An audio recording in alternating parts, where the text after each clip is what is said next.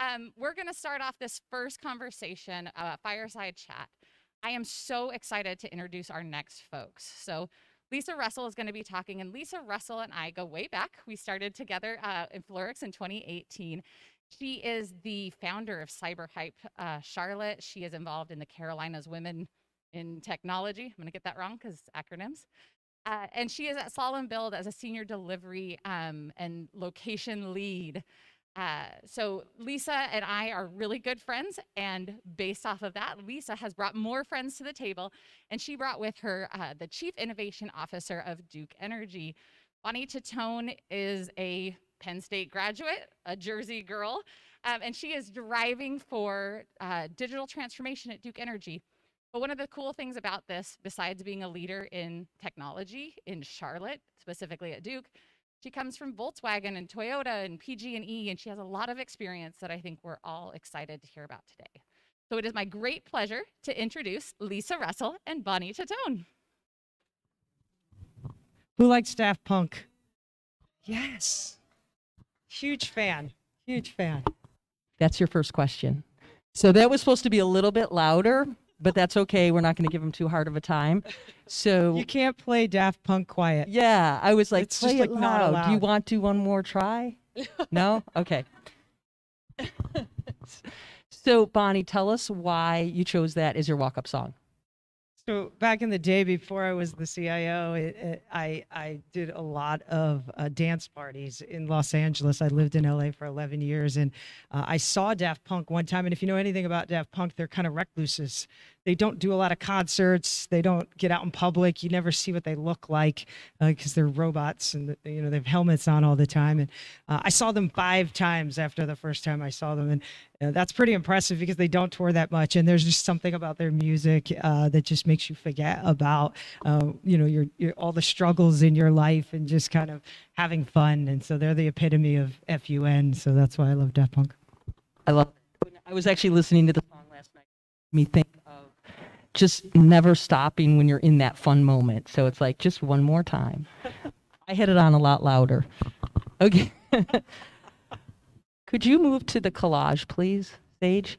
So, Bonnie, uh, first of all, let me give you a little agenda for our fireside chat. We really originally we were talking about doing a keynote, and um, Bonnie and I are friends, and as we were talking about it, we really wanted the opportunity for you to get to know Bonnie because she's an amazing person, and also the opportunity for you all to be able to ask questions. So, the way we're going to format this today is we're going to have Bonnie talk a little bit about the collage that's up there.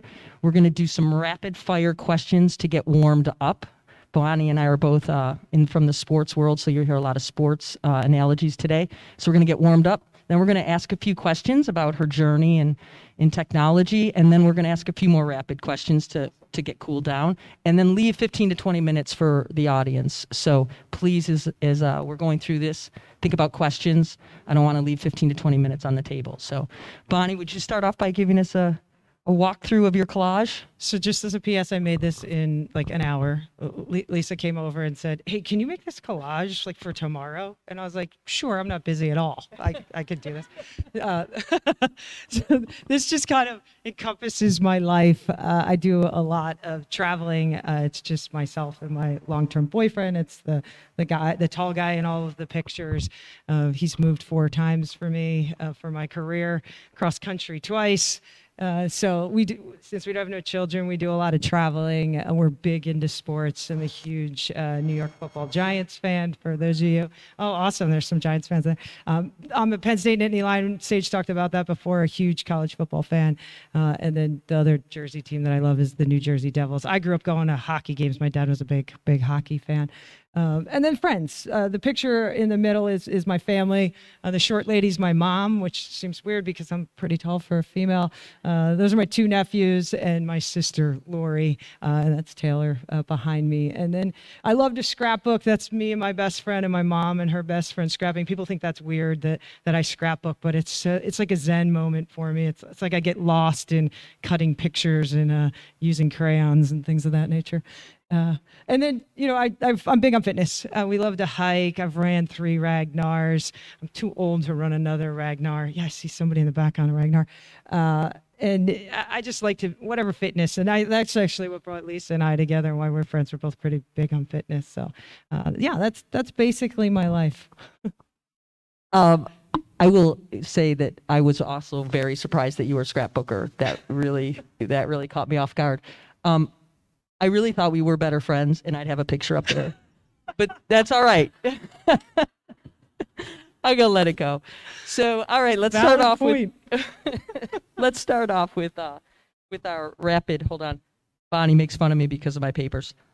I didn't wasn't ready for the rapid rapid fire questions. Okay, rapid fire. Spring, fall, winter, spring. I'm sorry, summer, fall, winter, spring. Who picked her to MC this? right now, fall. I mean, I love fall because two things. I don't like to be really hot and I don't like to be really cold. That's why I loved San Francisco. It's 65 degrees at all times. Uh, so right now, that and football. I should have told you only one to two words, but Oh, that's all right. sorry. Beer, wine, beer, wine. Beer. What kind? Anything Pilsner. Huge German Pilsner, if it has to be specific. Good. Favorite sport to watch. Hockey is my favorite to watch. Favorite sport to play. Oh, softball by far. Nice. Yeah, by far. I'm not that good anymore, though. We have that in common. Sunrise or sunset? Uh, sunset. I, when I lived in LA, I lived in Marina Del Rey, and every night, this was before you know I worked till nine o'clock at night. I would walk across the street from my house and sit on the beach and watch the sunset. It's my favorite time of day. Yeah, it's awesome. Miss that. Favorite college football team? Come on, Penn, Penn State Nittany Lions. Maybe. Are they 3 and 0? They're I think yeah, they're undefeated. They're, four and zero. 4 0. They're number four, by the way. Good. Just saying. Favorite professional football team? Oh, God, it's painful. Yeah, the New York Football Giants. We are like on a ten-year drought. It's so hard to be a fan, but I try. College football or NFL? college. Do it for the love of the game, not because it's for the money. Favorite pro sport? What you asked me that? I thought you Oh, said asked hockey. me what I yeah, like yeah. to watch. Favorite Okay. pro sport? Yeah, football. I'll go football on that. All right, last rapid fire, which really is getting into the first of the detailed questions. What's one of your weirdest quirks? I don't like anything on my palms. So lotion's an interesting thing for me in the mornings. Uh, I do not like anything on my palms. It's the weirdest thing. Uh, so now I just gave it away. Uh, you'll always see me washing my hands because I don't. It's, it's like a feeling thing for me. So it's I can wear gloves, but yeah, I don't want liquid or anything on it. okay. It's weird. I don't know. All right. Well, that is the end of our warm up um, questions. So let's start off with getting more into your career and your journey. Sure. Um, what was your major in college, and why did you choose that major? Yeah, I tell this story sometimes, and people think it's weird, uh, think it's odd because there's no way I'd be sitting in this seat if if, if you knew where why I went to college at Penn State and what my major was. I picked Penn State purposely because I wanted to run a hotel. So I went to their hotel restaurant and institutional management school and I picked it because that's where I thought my journey was. And and you know, over the course of time, right around when it came to graduation, the tech uh, was tech was booming at that time, and I thought, man, this is on to something. I don't think this is going away. Like this technology stuff's here to stay. And I said, maybe I should give that a try. And I often joke that I remember it was a couple months before graduation, and I had a job offer from a hotel. My parents were super excited, and then I went and said, yeah, I'm not going to take that. I'm going to go give this software company, a hotel software company, a try. And they were like, What are you talking about? Like, why did we spend all this money? And now you're not going to use it. And, uh, you know, my dad died a long, long time ago. So, but my mom now often says that she's glad she wasn't that pissed at me. So, so tell us about that journey. So, how, what, what journey? Tell us some of those companies and the roles that you had. Yeah, right out of college, I, I ended up going to work for this uh, hotel and restaurant software company. Uh, they were based out of Munich, Germany, but their headquarters was in Maryland, in Laurel, Maryland. And I went and I didn't know anything about technology, but I just embedded myself in it. I just said, okay, uh, like I'm somewhat smart. I can figure this out, right? I graduated from college. I have some skills, right? So uh, I just taught myself how I was DOS at the time. That's how dated I am, just as a PS. And so I just, there was something about creating something uh, that was going to, uh, I call it almost Ubered the hotel industry, right? Because back in those days, everything was paper based in a hotel. You got a physical key when you went uh, into a hotel. And I know most people in the room probably don't remember that time, but uh, I knew I saw I saw there was something bigger there, and I just it, it just was appealing to me. So I just I never got out of that technology track, if you will. And so I went from there to a startup internet company, which was the hardest year and a half of my life. I did every job under the sun there because there was 35 of us. Uh, but then I saw the writing on the wall that that we really weren't going to be successful and um, that's when Toyota came calling. And if the, if you know anything about Toyota, their culture is, is, everything right to how the company works. And so when I got the opportunity to go work for them as a project manager, was an IT project manager. I jumped at the chance, and, and frankly, I had nine different roles in 11 years at, at Toyota. Anything they asked me to do, I said yes. E- even if I had no idea what I was doing or didn't even seem appealing to me, I said, I'll do it and you know i think uh, uh, it's a big reason why i'm sitting here today uh, it's a big reason why uh, i love technology because you know i got to expose myself to a, a, a, different way of thinking and if you know anything about toyota they're very big on empowering people uh, they think the the next thing is coming from their employees, right? And, and that you shouldn't tell them what to do. You should give them an avenue uh, to experiment, and everybody gets a say in a positive way. And all of those things I think are part of how I lead today and, and kind of the journey that I took. And, uh, you know, I thought I was going to retire from, from Toyota. It, you know, 11 years in, I was on the track to ultimately be the CIO at Toyota Financial. And uh, then this opportunity at VW Audi came up and they called me. And, it, you know, they're small. They're small in the U.S. They're, the, I think they're the largest car company in the world, but U.S. they're pretty small. And they asked me to come run technology, so be the GM of technology for Volkswagen Audi for the US and Canada.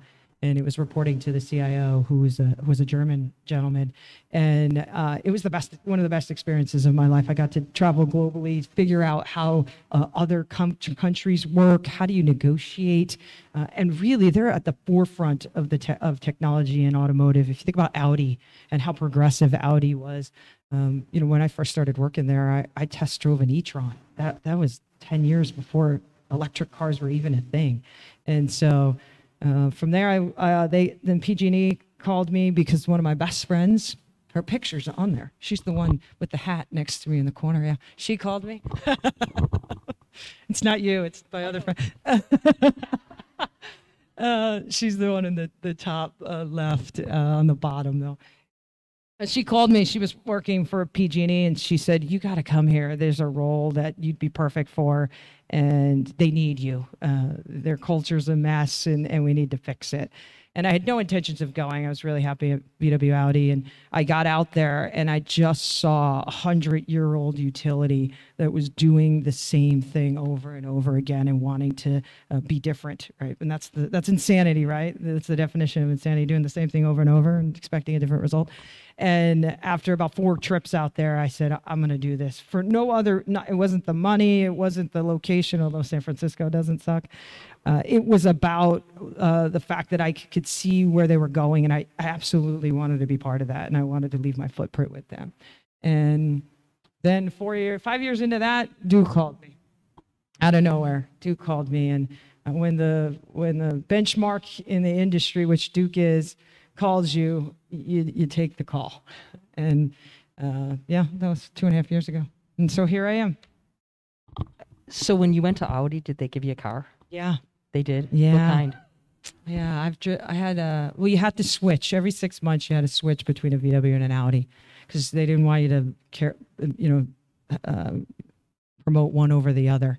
So what I- was your in favorite? Five years, I probably drove I don't know eleven cars, something like that. What was your favorite? An A7, hands down. A7? Yeah, I'd take that car again. What Yeah. about when you were Toyota? Did they give you a car? Yeah, What kind of car did you have there? Oh, I had everything. I had a 4Runner. I had two Lexuses. I, I had a lot of cars there. What was your favorite Toyota? the 350. Yeah, the 350. It's convertible. Yeah. It's nice. What I'm a car girl too. what do you I- I, should have a car picture. What do you? Yeah, I was gonna say. What are you driving today? I have a Taycan. It's an electric Porsche. It's an electric car. There we go. Of Look it up. It's my Yes. favorite. Yes. I'm gonna get in trouble. What was the most surprising thing um, for you about making that transition to technology? The- What was the most uh, surprising thing that you found? that the people in technology are there because they want to make a difference. They're not there because they need a paycheck. And that you don't see that that often. Um, luckily, tech jobs pay pretty well in most in most situations. But there was something about the the, the type of people that align themselves to technology that was eye opening for me. And I think it's why companies are so innovative, and I think it's why we're able to disrupt in a way that we've never seen before. It's because of the talent, and uh, I don't think you see that in a lot of the other industries. Right. The, the the thing, and all of you are all technologists, is everyone's very passionate about their craft. That's right. Technologists are very passionate. Yeah, you too. I'm passionate. Yeah. Uh, yeah, I am. yes, I She had to question herself. She's like, I am. Yes. I didn't know you were answering, asking a question back to me. I've seen you. Uh, uh, you have. So I want to go back just to a question about roles. sure. So you were a developer? Did you actually? Were you a early on, just DOS. That's all I. Well, HTML too. I could code HTML, but not very well. Uh, I learned really quickly that I was a better leader than a doer. That's not that I don't do the work. I do. I do still do some of the work, uh, but I found myself I was better as a kind of a people leader. Uh, I, I tend not to say manager because that, that feels like a uh, I'm telling people what to do, and it's completely opposite of my style. But uh, yeah, I just recognized really quickly that that really wasn't my jam, and I probably should focus in on the things that I was good at, which was leading people. That's awesome. How do you measure success?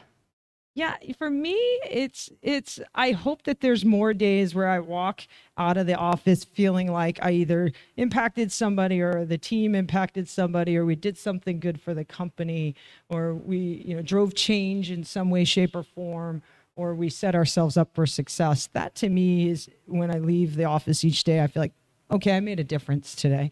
And that's not every day. There's some days I leave and I say, wow, I didn't really accomplish too much today, but but you hope to come back the next day and, and learn from those things and, and do something different uh, to, to make it better. But, uh, you know, for me, when I talk to my business customers and they talk to me about what, uh, how we've made their lives easier, how we made their operations easier, how we got them out of something antiquated, or we drove change, right? Uh, to think about how hard it is for people to change the job that they've been doing for many, many years. When when they tell me that they've gotten somebody to kind of think differently about how they're doing their work, that's that's how I measure success. Yeah, it's awesome. What what is there something that others would have seen maybe as a failure and that you perceived as it was really a success to you that maybe uh, and say it was a failure? Yeah, I would say back to the. I often say the one piece of my career that that for me felt like a failure, but but but maybe not, because you're always hard on yourself, right? Especially when it comes to your career. Is, you know, I took this chance um, when I left the software company. I had a pretty cushy job. I was living in LA, working from home, and traveling all over the world. That doesn't sound like the worst gig to me.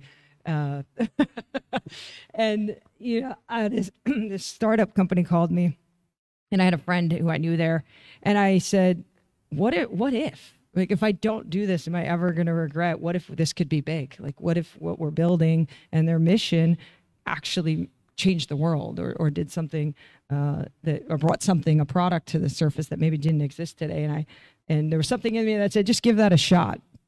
It's I didn't want to get comfortable because that's easy to do, right? It's easy to get comfortable, and you know, a, a little over a year I was there, and it, it was a lot of work, and and you know, we never were able to get it off the ground, and that just feels like failure, right? Uh, you know, I remember one day I was walking into the CFO's office, who I was really close to, and uh, I saw a check sitting on her desk for seventy five thousand dollars, and I, you know, because I knew her really well, I said, "What is?" This? And it was a personal check from the owner. Uh, his name was James, and I said, "Why is why do you have a check from James for seventy five grand?" And she said, well, we had to use his money to make payroll. And I said, oh no. And it was that day that I said, I think I need to find my next plan. And it sucks because you, you know, we were onto something and I, you know, I wanted to be part of it. And, you know, it's always those times where you get that fork in the road. You're like, should I do this or should I do something else? And, uh, you know, I'm grateful I, I I made the choices that I made, but it, it certainly felt like a failure. What happened to that company? They went under Oh, okay. a, year, a year and a half later. It's Uber today. I would have totally like, uh, yeah, they went under about a year and a half later. I would not say that's failure. I would say that's really good insight. That's yeah. All right, I'll take I'll take what Yeah, you said. t- they take It that. didn't feel good. so what um what's the most impactful um piece of advice that you have received? Yeah, I love this question. I've gotten a lot of advice. Here's the one thing I would tell you before I answer the question. Find sponsors or mentors or people who can be honest with you. Uh, you don't want a mentor or sponsor who's just going to tell you what you want to hear, right? That's not going to make you better. And I've been lucky enough throughout my career to have a lot of mentors and sponsors that, uh, you know, really didn't care what I've accomplished. They cared about making me a better person. And um, I had one mentor who said to me, uh, "Be yourself. Everybody else is taken." Right. And, and what he meant by that was be authentic. Right.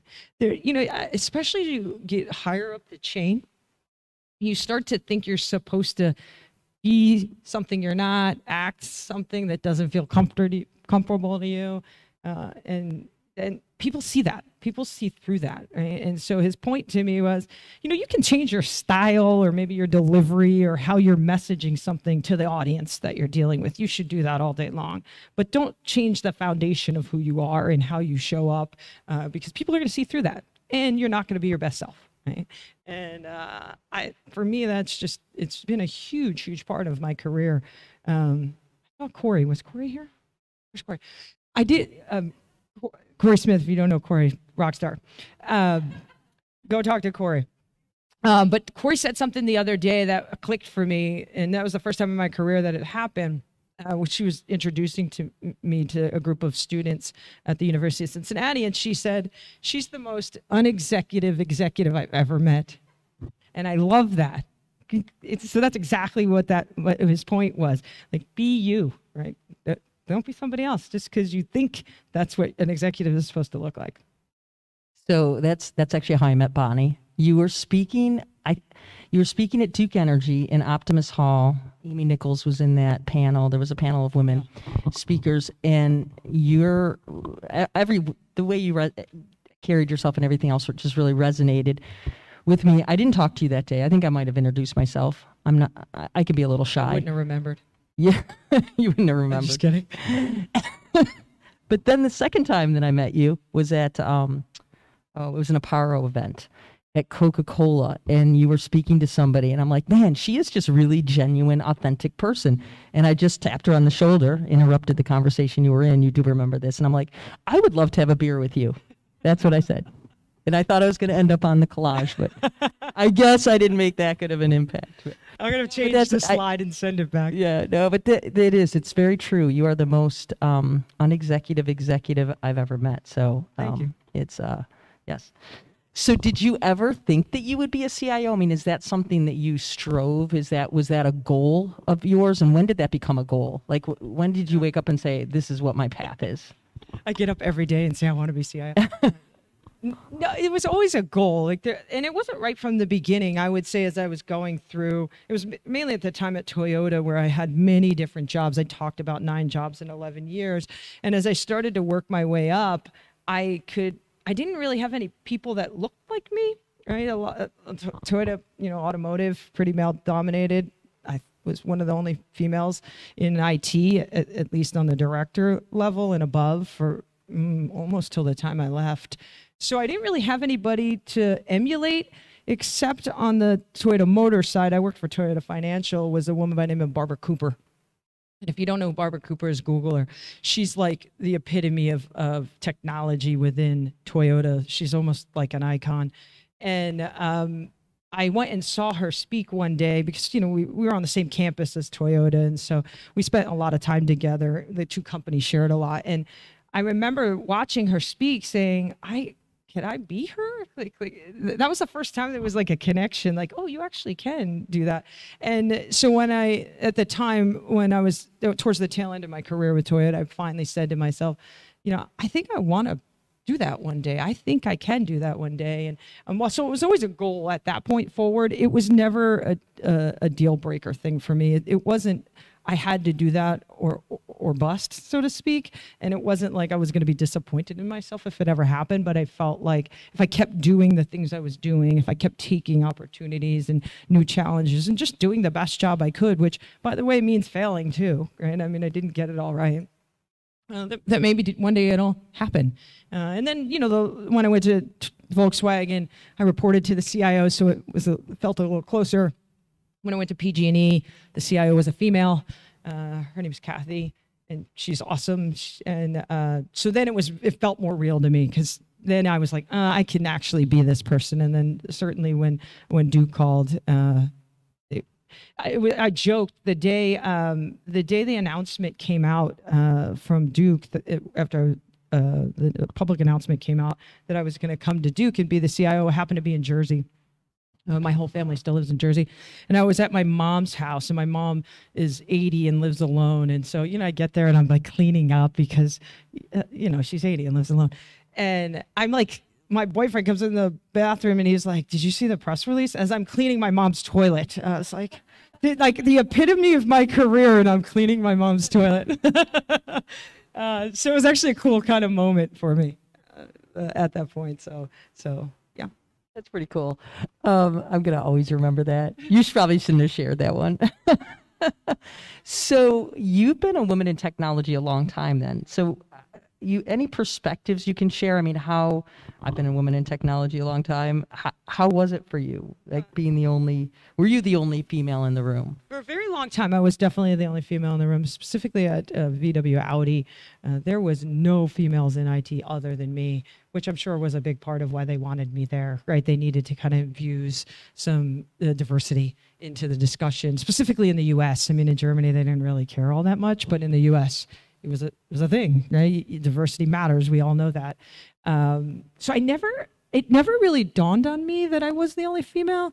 I think there's a couple of things there. I think it was one. I just I'm from Jersey. I kind of have a dominating presence. I'm tall. I just kind of walked in like I was supposed to be there, right? I, I was telling Lisa the other night, it's like I also have a mom who was the breadwinner at a time when most of my friends moms were stay-at-home moms which that was that's a huge job and i would i don't know how they do it. Uh, but my friends would always say to me why does your mom go to work? And i'm like why does yours not?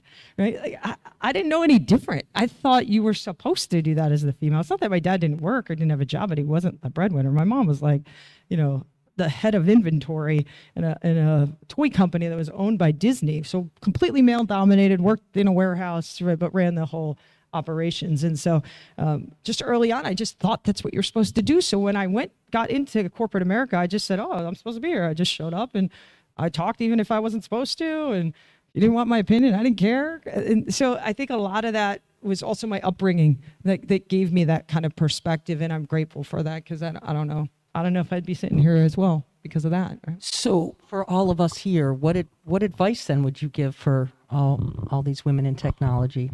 Have a voice. Your your opinion matters. You get to show up just like anybody else in that room, right? And uh, don't ever feel like you can't sit at the table. It, you used to drive me crazy um, when when I'd go to meetings in companies and the females would not sit at the table; they'd sit on the outside and I'd often go over and say, Why are you sitting there? And they'd say, Well, because I just want to leave room at the table for everybody else. I'm like, Everybody else? You. you. Like, never sell yourself short, right? You're, you're there for a reason, right? If you're in the discussion, you're in there for a reason. And, and you got to have a seat at the table, right? Because it matters. People, people pay attention to that. I can tell you who sits at the table at Duke, and I can tell you who doesn't, and it matters, right? So that's the advice I would give. Don't let anybody tell you you're not supposed to be there. I love that piece of advice. When I way back in the day when I was at Bell Labs, I always noticed that if there was a woman in the room, she was sitting at the outside. Guess what? I did not sit at the outside. I knew you didn't. didn't want to sit at the outside, but it was. It was. It was. No, you have a seat at the table. You right. you need to have a seat at the table. Um, So, what um if I'm going to try to phrase this the right way. What advice would you give your younger self?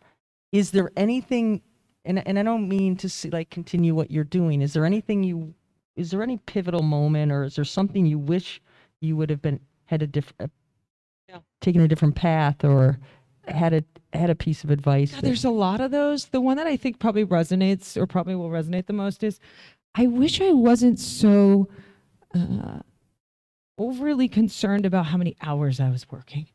Right. And so I feel like while I, I you know, I, I got to live in really great cities, I spent a lot of time working. And I don't necessarily know that I, it'd be any different if I didn't work those extra hour or two every night. And so there was something about I, I, mean, I think it's still there today to some extent. It's like, you know, that's not a measure of success. How many hours you put in, right? That it's not. But but we have that for whatever reason, we- especially as females, we we think that way. And I wish I wouldn't have done that. I wish I would have spent more time, equal time, on my life as I did uh, my work. And not that I think I sacrificed anything, but I certainly missed stuff. Uh, yeah, and do you do you feel like if you had done that, you would have missed out and not been in the sitting in the same seat? I don't think so. I don't either. I don't think so.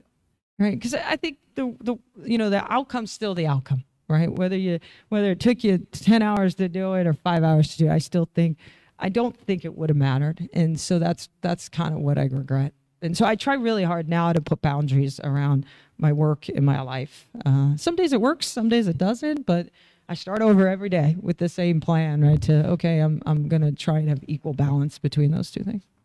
That's a great segue into the last question before we do our cool down and then ask for the audience. So It's hot up here, by the way. It it is hot up here, um, and we got the masks on, and it's hot. so, thank you for coming. So, talk about your daily routine because that's one thing that fascinates me about you. So you're you're talking about now you put boundaries. So so talk about your routine. Oh no. uh, I get I didn't tell her I was going to ask this question. by the way, uh, I get up pretty early, uh, usually somewhere between 4:45 and 5. Uh, I work out for uh, 45 minutes to an hour. Uh, talk six- about your routine for your workout. Six days a week. I'm very committed to that. Uh, what do you mean? What's like what your what's a typical workout for you? I don't know. Like, I generally will run a couple miles and then do like a 45 minute HIIT or weights or some sort of cardio and either weights or HIIT type thing. And it's for me, my one, my time, right? It's two, it, it allows me to just get the stress out. Cause, you know, sometimes, you know, we all know our jobs are tough, right? And you need a stress reliever. And that for me is how I make sure that I show up the right way every single day. I mean, even if I have, uh, I'd be interested to hear if the, the Duke team feels this way, but I could be having the worst day ever as far as like meetings and whatever I have going on. But I try never to let the team see that. And how I get that that out is the workout that helps me do that. So uh, I'm pretty religious about that. And then usually in the office by seven. I have an amazing partner who who does all the housework. So he makes my lunch, makes my breakfast. He makes my life a little bit easier, uh, so that I can be in the office at seven, and I'll work till you know six, six thirty, sometimes seven, uh, and then home and you know spend time with Taylor. And I am very much uh, when I'm home, I'm home, and when I'm at work, I'm at work. I, I'm not the person to open my laptop after I get home from work, and then I hang out with my friends, and travel, do fun things. What time's bedtime? Nine thirty. Nine thirty. Unless you're out, unless, Unless and then it out. might be a little bit. It might be a little bit later. So be. I did a workout with Bonnie this week, and um, I can't move one of my arms. So, but you know what's? I, I had to ha- ask this again. Not a question I was planning on asking. Were you doing the same workout routine? Okay, what month are we in? September. Were you doing the same workout routine last September? You were okay. Yeah. I told myself and that when I turned 50, I wanted to be the healthiest I've ever been in my entire life, but I didn't want to do one of those crash things because that's not my nature because I don't diet at all. I don't know how to do that. And uh, so I said, I'll just start a couple of years earlier. So I'm on this mission now for three years to, to, to get to that point and meet that goal. It's important to have goals. right? It is. Make them realistic. Yeah, you've helped me get back on. Thank you. In my arms. Thank you. all right, last rapid fire. All you guys get ready for. All you girls get ready for uh, question time. All right, rapid fire. You can you can expand on a couple of them. Favorite book. Lead with Love. Uh, go check it out. Uh, Colleen Barrett, if you those of you don't know Colleen Barrett, she was the first and only president of Southwest Airlines, and she is the reason uh, that they are the company they are today because her philosophy was employees are uh, customers are not your number one priority. It's your employees. Her philosophy was take care of your employees, and they're going to create a great environment for your customers. And if you know anything about Southwest, you know their employees are super happy, right? They, if you ever flown on a flight, there's something about the culture there, and that's all Colleen Bar- Barrett. And so she did a book with Ken Blanchard, uh, if you know who Ken is, and it's called Lead with Love. So I didn't know you were going to answer that way um, about Southwest, but I'm going to share a little Southwest Sure. piece. So the COO of Southwest is a good friend of mine. His son and my son played uh, lacrosse together at Duke, and one day it was at one of the first games, and I'm in the airport getting my this kids are getting ready to get on their flight, and I look over and I see Mike, COO, in line, and he's in like the I don't I can't remember how they do the lines now, like four, five, eight, nine, whatever. He's in line, and I'm like, Mike, what are you doing? You're the COO of Southwest Airlines and you're in like line H. You're going to end up with a middle seat. And he's like, Yes, I always take this spot. And I was like, Wow. Like, yeah, I was, I was so impressed with him and just so impressed with their philosophy. So he did get his wife on earlier. I will tell you that because I didn't ask where Cindy was. I like, where's Cindy? And he's like, Oh, there's always some. I always make sure that she gets an aisle seat. So the wife did get taken care of. Favorite cuisine, Sushi, favorite type of music, EDM. favorite band. Maroon 5, probably. Nice. Oh, you should have picked that song. What's a better chip flavor, barbecue or salt and vinegar? I don't eat chips. You really don't, I don't. but you like those little almond things with the the limoncello. Chips are okay are bad. Christmas Eve or Christmas Day? Christmas Day. Why? I guess that's where my family gets together. Uh, my dad was Catholic, so that was the ki- Christmas Eve. My mom's Lutheran, so Christmas Day. Nice. What's worse, having to fold laundry or unload the dishwasher? I said I don't do either. Poor Taylor. By the way, Taylor is amazing person. If I do the- unload the dishwasher. I'm allowed to do that. I can't load it. I'm not allowed to load it, but I can unload it. Wait a minute, you, uh-huh. you can't load it because he won't let you? No, because I don't do it right. Right, that's what I mean. He won't. Okay, that's good to know. You might be surprised, but I don't unload load it right either. See all these little papers? I don't load it either. On a long drive, would you rather listen to music or a podcast? Music. Would you rather win Wimbledon or an Olympic gold medal? Oh, gold medal.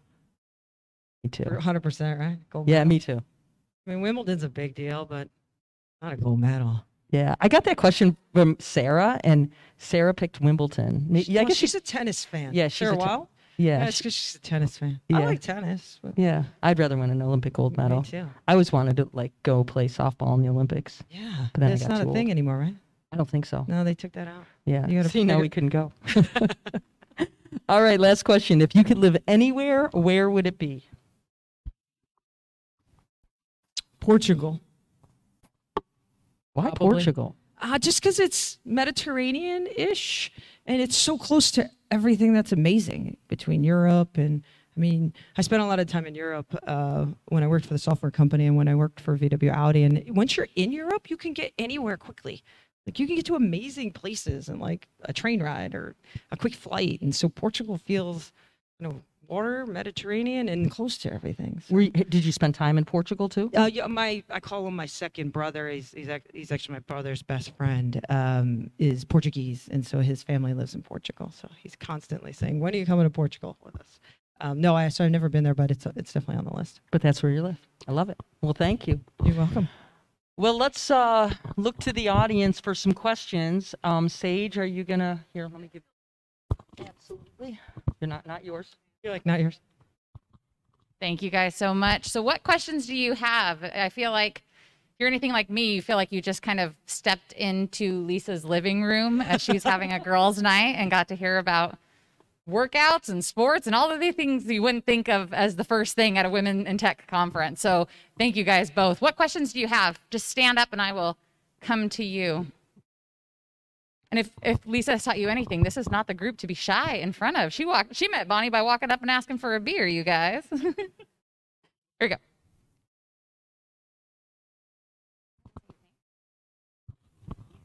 Hi, I'm Romina. What's your Um, name? Romina. Rowena. Hey, Rowena. Hi. Um, so I have a question. I like to think I'm pretty confident, but sometimes when I'm at work, um, I get a little bit nervous about setting boundaries because I don't want to seem weak in a way. How do you go about that diplomatically, setting boundaries without feeling like you're burdening your higher ups or your coworkers around you? Here's what I would tell you about that. They get up and get dressed just like you do every single day.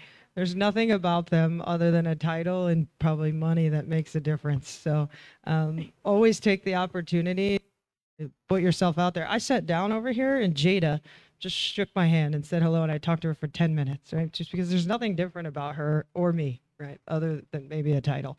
And frankly, who cares about that? Uh, so what I would say is think about what you're going to say and, and make it meaningful because people remember the first thing you said and the last thing that you said right and so so maybe just get your thoughts together but but but do it i mean it, there, there's no difference between people and, and so we're all human and remember that Thank you. you're welcome My takeaway from that was they're just like you as long as you can run multiple miles early in the morning and go to bed by nine. i'm really a slow runner though Where we at? Perfect. super slow runner Uh, uh, like a 10 and a half minute mile it's horrible Hey, my name is Kate Mata. I'm sorry what was your name Kate. kate hey kate Hi. Um, my question for you is what is the biggest takeaway or the biggest thing that you have learned in the past year and a half during the pandemic? uh, don't question don't question things so much i think as leaders a lot of times we want to have every single piece of information so that we feel comfortable that we're going to make the right decision and what the pandemic has taught me and i would say a lot of the leadership team uh, as well at duke is you have to be swift right? You, you have to be able to make decisions that directionally seem right um, because you are going to potentially get left in the dust essentially. And i'll just give you a quick little story of, of something that happened right before the pandemic it started you know it started to become people were talking about the corona and you're like what is this? Or is this actually going to impact us? And i remember a couple of weeks before the march timeframe i was talking to um, he's head of infrastructure over at ally and I was asking him about because they had taken their uh, workforce remote, and I was asking about like, how'd you do that? Like, what were you doing, right? Over that, like, how'd you make that work? And so, I, you know, we just did a call. He, we, he was being transparent and you know gave us some information. And I remember hanging up that phone um, with Frank, who runs telecom at Duke Energy, with me, and he said we had a conversation. He's like, I think we got to get in front of this thing. I think I think we're gonna have to take the whole company remote. How the heck are we gonna do that? We're not we're not architected that way. We don't have the infrastructure for that. People come to our office. They don't dial in from home. And I remember there was that discussion between us. Him and I were talking because it was a pretty big investment that we needed to make, kind of big decisions, you know, financially. And we both were like, we should do this. And he was like, I think we should do this. And I was like, yeah, okay. And I was like, I hung up the phone like, oh no. I just didn't make like huge financial mistake. And had we not done that, if we agonized over that, we wouldn't have been able to get the equipment and the company wouldn't have been able to function the way they did today. So uh, it's taught me to just get enough information to make a smart and intelligent decision and don't agonize over things right um, that whole saying around you can apologize later i think was the pandemic has taught us uh, that that you need to think quickly and, and be innovative in what you're thinking so Yeah. Follow your gut. Sounds like Kinda. you followed your gut. Oh, this is an amazing tech community. So I come from San Francisco, where if you know anything about the tech community in San Francisco, you do not share a thing. You are like at war against each other. Like uh, your IP is your IP, and you don't you don't share. And Charlotte could not be the opposite. I cannot tell you how many CIOs of other companies I have on speed dial, and we share ev- anything because we just want to see Charlotte become an even bigger tech community and even better. And we all care about that mission more than we care about what we're specifically doing. And uh, I've never seen it in my entire career. It's amazing. Hi again. This is Alyssa. Hey, Um, Alyssa. I'm Sharp. married, but uh, I think everyone in the room wants to know if Taylor has a brother. He doesn't. He has three sisters. That's why Sorry, he's such everyone. a good partner. Um, my real question is um, how do you empower males on your team or in your workforce to be better advocates for females in technology and to um, buck against gender roles and norms in the workplace and at home? I love that question. Um, surround them with them. that, that has literally been my fix for that. And so, uh, you know, I think. I think we're a product of just kind of how we how we came up through the industry, and it- you know specifically if you you've been in a department or a company that's that's male dominated, you just try, tend to gravitate that way, and so you just have to help expose the the men and the the males within our our um, our track to, to the females. Right? I think uh, giving them that exposure, getting them to uh, do projects with them, I always tried to, to make that happen. I often encourage the males um, to have a uh, to mentor somebody that's a female. Right? Find these avenues to give them exposure, and I think it'll start to change kind of how they're seeing it because.